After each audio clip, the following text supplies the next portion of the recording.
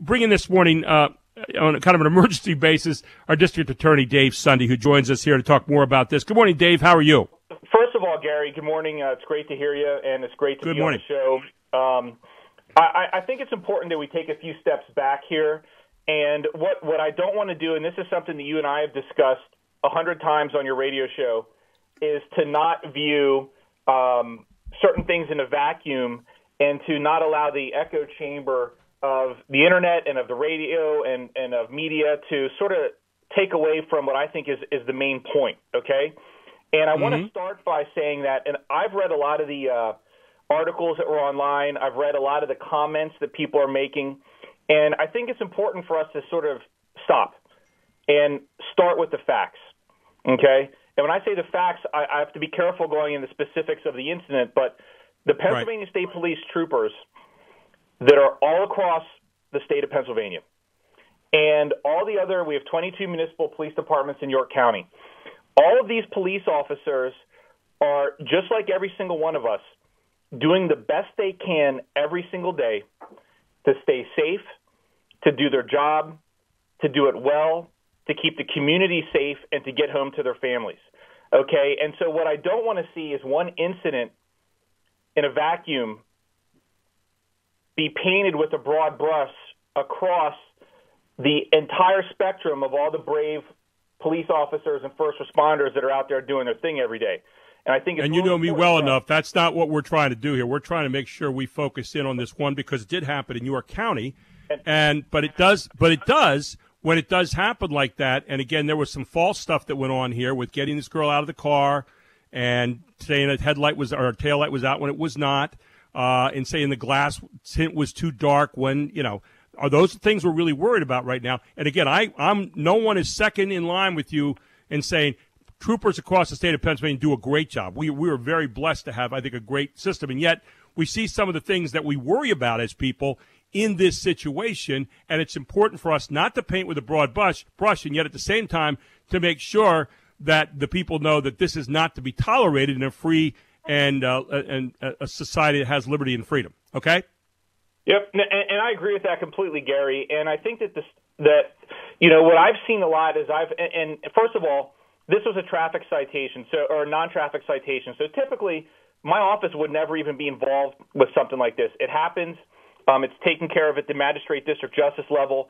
And so, you know, we haven't dug into this like we would cases that come up here to the DA's office. Um, what I do know is we have to be very careful. When I say we, I mean the collective we um, that are in positions where, you know, our voices are heard everywhere. And I, right. what I mean by that is I think it's critical that everybody has the facts before they really dive into things like this. Uh, for example, and, and again, I don't. I'm trying not to go into the details of the case because I myself haven't um, reviewed the citation. However, in my conversations with the Pennsylvania State Police, it's actually a brake light that was out, not a tail light. And again, I, I'm only bringing that up because because that is different than what has been said. Okay, and and what I don't want to do here, Gary, is again, you know, create this story that takes on a life of its own because right now everybody's very worried. Everybody's concerned. There's a lot of anxiety. We've talked about this. And during times like that, it's important that we all have to have a little bit of tolerance for each other and to work together as a community. So, turning back to this situation, okay, um, first and foremost, I want to assure every single listener that you have and every single person that, that hears this, like I have been from the very beginning, there is not one person that you will find that has been pulled over solely for uh, violating the stay at home order from the governor. If someone's pulled over, they would have been pulled over for a traffic violation or some other um, crime. Okay, so no one is being pulled over. And I challenge anyone, if, if anyone has been pulled over without there being another reason solely because of stay home order, I would ask that you email me at the DA's office and I will look into it immediately. But I haven't. But Dave, let me let me yet. let me insert one thing there. Okay, you're pulled over for a brake light here. Okay, then the the officer in question in this particular case, I'm going to keep it very you know narrow here. In this particular case, also then asked this girl to get out of the car. Was she drinking? Did she have alcohol? So in doing that, you're already violating the social distancing there all right, unnecessarily. Uh, she wasn't doing any of that. Uh, is the tint on your glass too dark? Uh, questions like that are answered. Now, in other words, what you're saying is police can't stop you uh, strictly for violating that order, and yet at the same time they can use a pretense, which the guy obviously did in this case, and he then does not charge her for the brake light being out.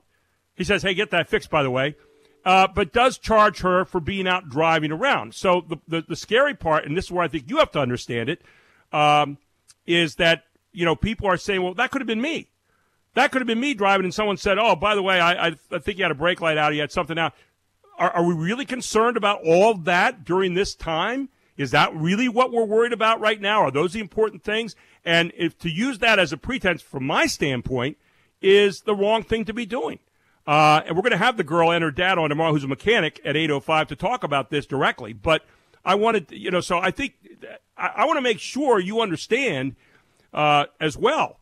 You know, you're telling me about making sure that we're putting the right information. I'm trying to do that you know me to be pretty responsible about that. But I'm also saying I've got a concern. I'm a little hot about this because when, if one person can do this and say, well, we're not stopping you for that, we're stopping you for this, and then they ask you to get out of your car, that's scary stuff, especially if you're a 19 year old girl driving by yourself. All right?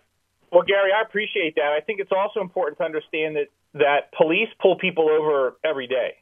And in times like this in particular, there's two points I want to make. The first is that, you know, no, the police don't know. Now you may know the girl, okay? The police don't know the who's in that car, and when the police see a car, especially under times like this, and and I and I don't know the trooper. I have no idea what was going through his head when this occurred. Troopers do not have the right to ask you where you're going. Is that right? As we talked to Dave Sunday this morning, our district attorney, uh, they're not allowed to uh, stop you and ask where you're going. I mean, that smacks of. Uh, you know, do you have your papers? And and I don't think anybody wants to get into that kind of thing, do they, Dave? Well, I, of course not. I, I do think we need to remember, though, Gary, that you know when a trooper pulls, when a trooper or a police officer pulls anyone over, okay, regardless of the circumstances, let's say it's um, you know, speeding, whatever. Sure. I have personally seen the videos, and we all have seen it where those situations. And again, I want you to know, and I want the listeners to know I am by no means defending a citation if, if it was improper. However, I think that we need to curtail the way that we're discussing this in a manner eh, that, eh, and the reason I say that is because when a trooper or any officer pulls someone over, Gary, and I love that we're disagreeing because I think it's important to be able to have discourse and honest right. intellectual discourse. That's what makes our society so great, which is something you Absolutely. and I have discussed many times. And you have to remember when a trooper or a police officer pulls someone over, they don't know who that person is. Okay? I know that. Yep. They don't know who that person is. I've personally prosecuted a case where a, someone getting pulled over turned into attempted murder of a police officer. So they pull someone over in the beginning. Okay, they're, they're not sure what's coming out of that car. They have to assess the situation. They walk yep. up to the car. Every time someone's pulled over, you're going to have a police officer or a trooper say to them, "What are you doing? Where are you going?" They have every mm-hmm. right to do that. And every citizen has every right to not answer. Okay? Yeah. And so and so again, we're we're kind of it's difficult because we're talking sort of about a generally, you know, without knowing the specific facts about how this went down. But the point is, troopers and police officers are trained to do everything they can to get whatever information possible to ensure their safety. I think we also need to remember, Gary, that in times like this, okay, due to the six foot um, distancing guidelines, troopers and police officers, okay, they, I mean, if you, if people think that they want to put themselves in harm's way every day, like they're wrong. But they're doing. No, I read the articles over the weekend about how they're going to have to do that because they're police and they do that kind of thing, and I understand that. But here's a situation where you stop somebody. Obviously, it turns out not to be. It looks like a criminal or anything like that. The reason that you give her the ticket is because she said, I was out driving around, which any of us are doing right now to go take a run or, or a walk or whatever. And, and I think where my disagreement with you is it, it, it's almost like somehow you're tacitly saying that's okay. And, and I don't think it's okay. I'm hot about it, and I and I, and, and again, I do, do, every does every trooper in the state of I imagine most troopers in the state of Pennsylvania when they read this story were cringing, saying we know better. There's common sense. We got to be sensitive. We don't want to put ourselves in harm's way. And yet here's a, a young trooper, apparently two troopers actually pulled up with two cars who do this. And, and my only concern is that, you know, we make sure that this does not happen again.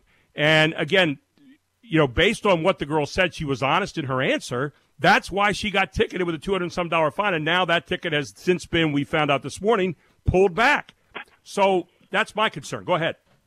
Right. I think that. I mean, I, I hear your concern, Gary. However, the problem is no one is being pulled over for violating the stay-at-home order. It's just not happening. That's a false narrative. It doesn't exist.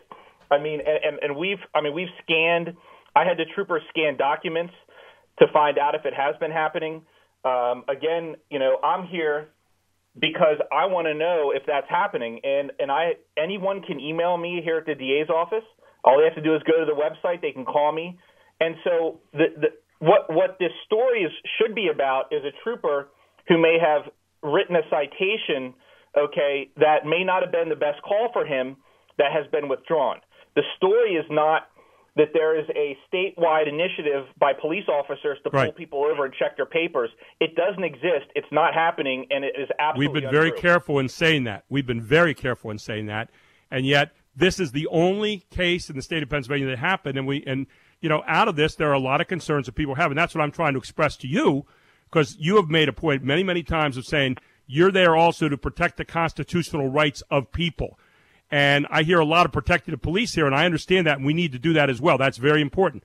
But what about the constitutional rights of people potentially? Oh, Gary, that's absolutely untrue, Gary. I, I'm here to protect the rights of everybody, and I think that's that what I just that's what I just that- said. That that's what I just said, Dave.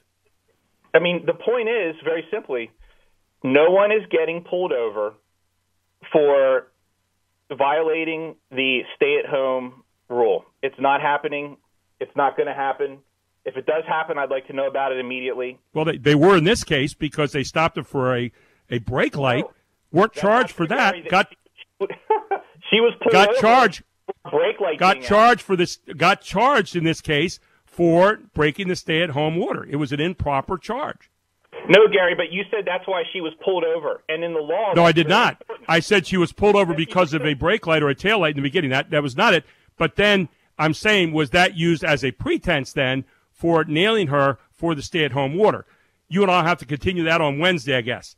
But uh, I would invite you to tune in tomorrow at 8.05. We're going to have her on and have her version and also her dad, who was a mechanic, who checked out when she got home, and apparently it was working. So that's the other question that we have. But I appreciate you taking the time this morning, Dave. Always enjoy talking to you and always enjoy even disagreeing with you. And we'll do it again on Wednesday, Gary. okay? Stay Thank you, my friend. You Bye-bye. too. Be safe.